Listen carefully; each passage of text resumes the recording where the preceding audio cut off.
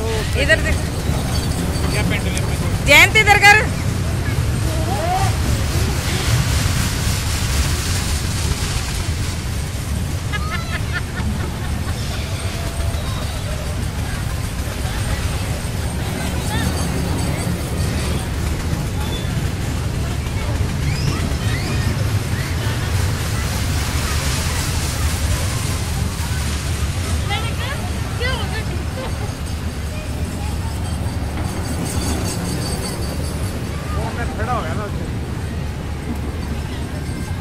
जाके खड़ा हो गया मैं